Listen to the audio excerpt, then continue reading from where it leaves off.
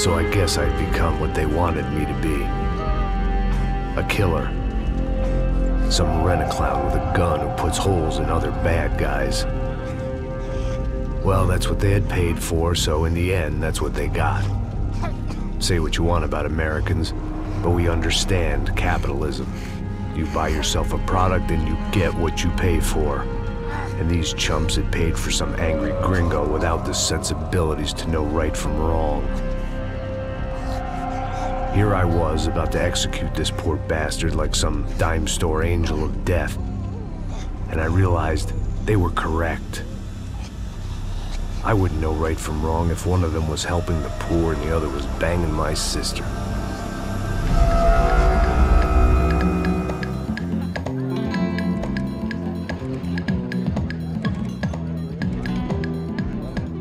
I'd arrived in Sao Paulo a few weeks before. I was working a protection detail for the kind of people who need protection in a town like this. And what kind of town was this? One where I didn't speak the language and they didn't water down their drinks. So for now, we seemed to get along just fine. Of course, that was about to change. Hey, brother. Hey, How's the cocktail? scotch. I never mix my drinks. Well, at least not on duty. Something like that. Man, that favela is big.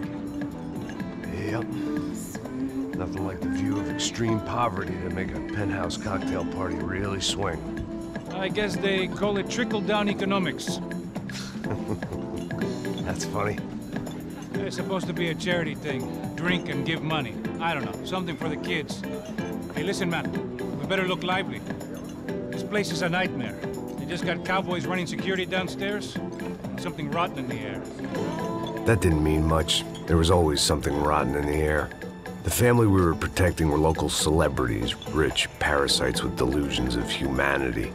The kind of people who end up in glossy magazines or body bags, depending on how their luck runs.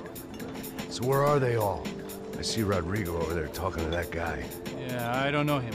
That guy next to him. He's some kind of cop. Ah, I think, I'm not sure. Serious, though. Big end cop, anti-gang sort of thing. I can't remember his name. So who's this guy? That guy's a plastic surgeon or some kind of surgeon. Uh, tummy tucks and cock implants. Ha! Look at Marcel. Still dances like a fool. Guess that's what a European education and a coke habit will do for Ricky Martin look alike. That's very funny, Max. Oh, excuse me.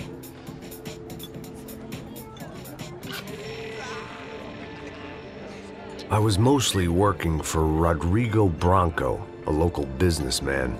Built things, did some charity, had things named after him, won awards, owned things, people.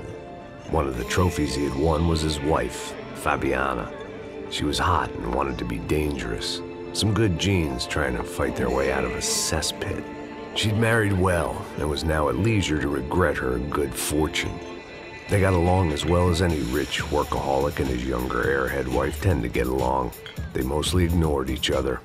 She spent a lot of time with his cokehead younger brother, Marcelo. He was a good time guy if your idea of a good time was an expensive suit, a bottle of champagne, and nothing between the ears. The middle brother, Victor, had just walked in. He was a local politician. Guy was smoother than an oil slick on an iceberg and about as toxic. The rest of the crowd, I didn't know, but I could imagine the types. People who know if they drink enough, they won't have to feel guilty about their good fortune. Suddenly, things turned real ugly. Felt like our hangovers arrived right on cue.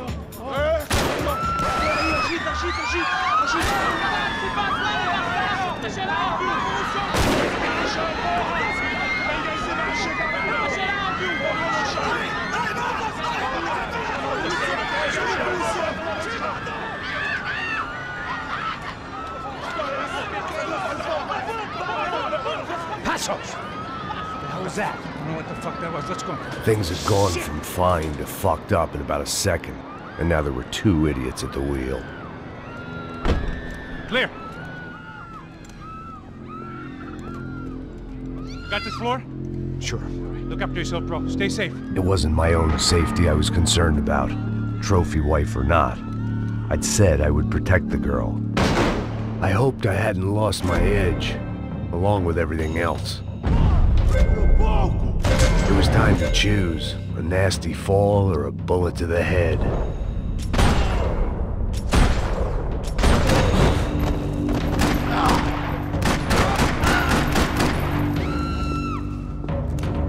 That was the boss lady. Only this time she wasn't calling for more vodka in her Cosmo.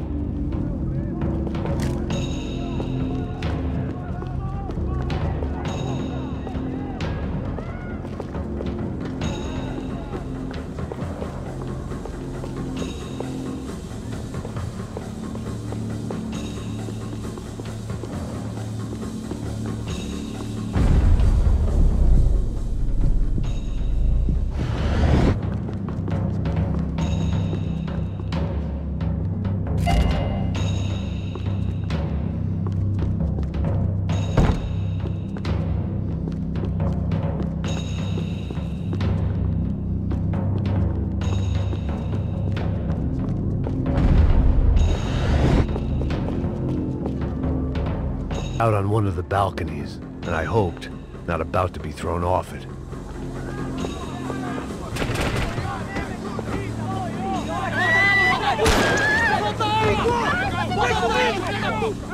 Ah, don't be stupid! Don't be stupid! Let her go! Let her go! Come on! It might have been stupidity or drunkenness, or maybe both. But before I knew it, I was back taking insane risks, trying to save fallen women.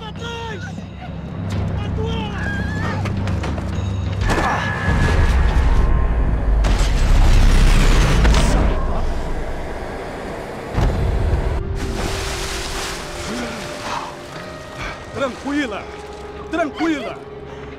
Nós cuidamos disso. Nice work! Hey, you need a hand? No, you?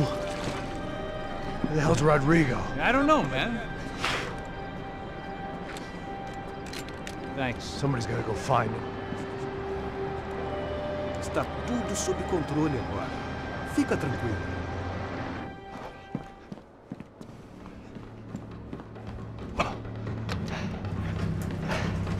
I imagined the elevator doors opening to a firing squad of muzzles.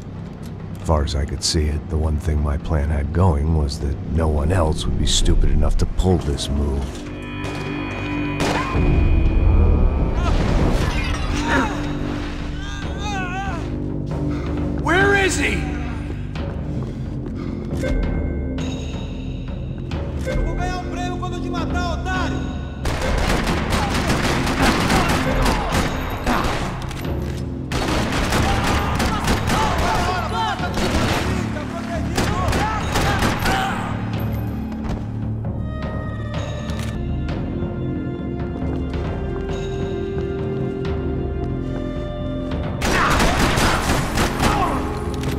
Done them enough favors. I didn't need to give them more of a head start.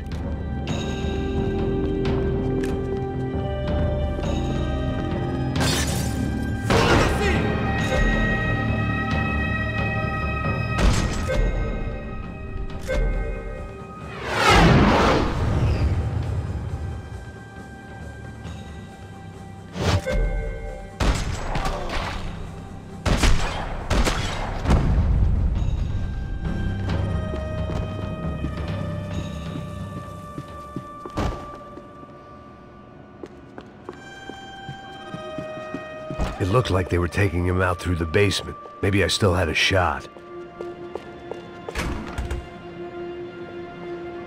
Rodrigo was too rich a prize for them to throw away.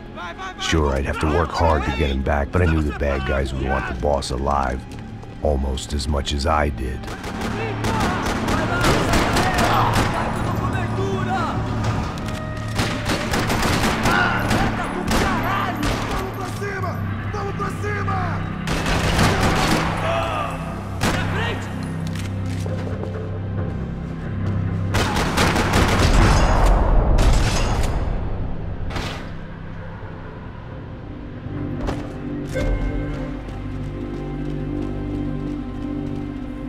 Control box was on the wall to the left of the gate.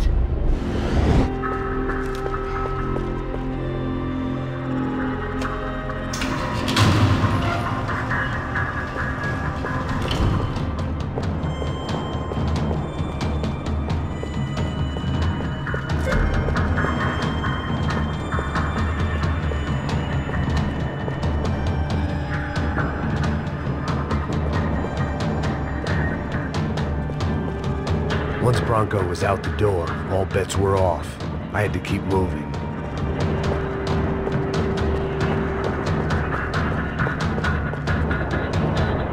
The great thing about being famous as well as rich is the bad guys know who to kidnap. Another parking lot rattling with gunfire. Was I too late?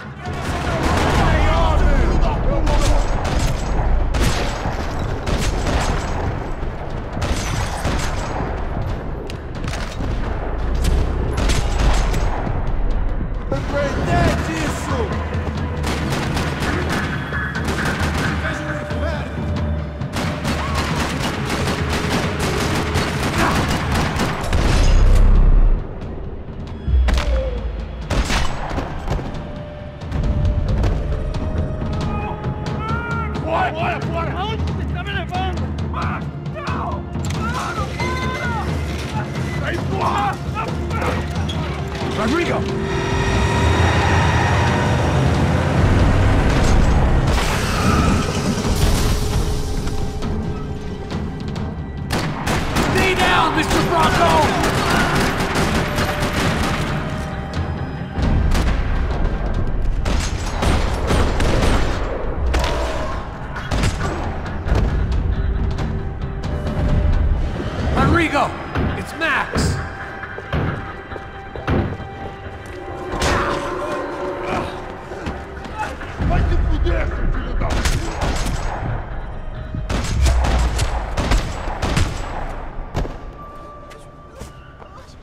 You're okay. You're okay. Yeah. Come on, get up. Come on, get up. You're okay. Come with me. Just come on. It's okay. Stay right here. Ei, vocês aí! Que porra vocês estão fazendo? A justiça local? Que porra você acha que é, falando com meus homens assim? Você acha que tem o direito de matar as pessoas a sangue frio, Becker? Cala a boca, cuzão! Continua dando multas. Não põe o nariz onde não é chamado. Vamos! Me ajuda, cara. Chama uma ambulância! Me ajuda. Fuck. You did good, Max. You say so. Don't look so good. Hey, what could be better, huh? The good guys are reunited, and the Comando Sombra are dead. I guess. So who's this guy? I don't know. Some kind of cop. Different branch of the police. Not UFE, but uh, normal cops. I don't know about this stuff, politics. Everywhere politics. Shit, Max, you look kind of beat up. Let's get this lot home, and then I'll, I'll get you home too. Come on.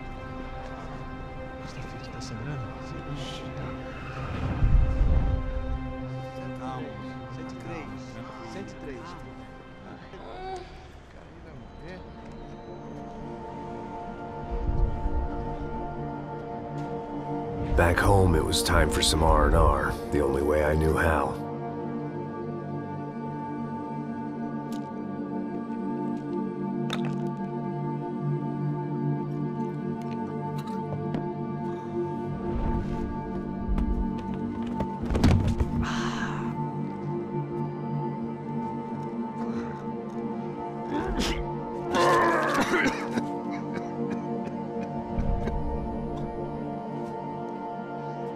With that, I guess I was ready for bed.